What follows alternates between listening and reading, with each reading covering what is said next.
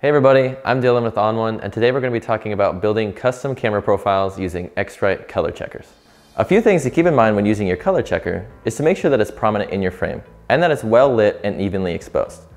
Also, avoid touching the color checker as to not damage the colors on it. It supports the Color Checker Passport, the Color Checker Digital SG, and the Color Checker Classic.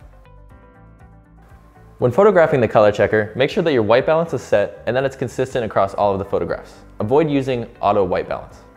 So now we're inside the edit module and we're going to go into camera profile.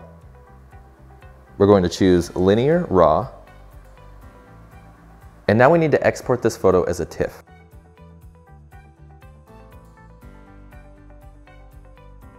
So we're going to change our file type to TIFF. And we're going to choose camera calibration space. We'll export it out. So now we're inside Color Checker Camera Calibration, and we're going to make sure that we're in ICC TIFF.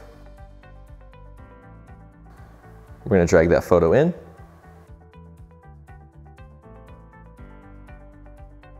And it's automatically detected the color checker for us and placed the overlay on top of it. Click Create Profile, and save. So now we're going to import that profile by going back into our camera profile menu and going down to import. Find that profile and then open. So now let's show you what that profile looks like in action. So now we've navigated to that previous photo and we're going to apply that custom profile.